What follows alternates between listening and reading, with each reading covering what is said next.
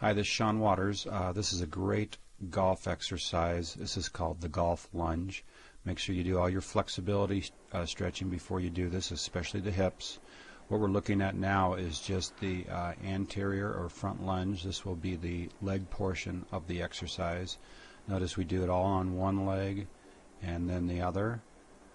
Uh, what's going to come up next is how the arms are going to move while we are doing this uh, front or anterior lunge. So the right arm goes up in kind of a circular plane of motion. The elbow bends, kind of like in the golf swing. The left arm stays relatively straight. You don't want to use much weight uh, doing this, three, five pounds. Um, this is what it looks like from the side view. So the left arm stays kind of straight. The right arm again bends like in a golf swing.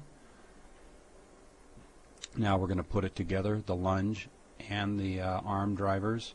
So we're lunging with our left leg and our arms are go going up over our shoulder. This is uh, similar to the golf swing in that the hips and the upper body are rotating in the same direction. Turn the thumbs over, pointing them over the uh, left shoulder now.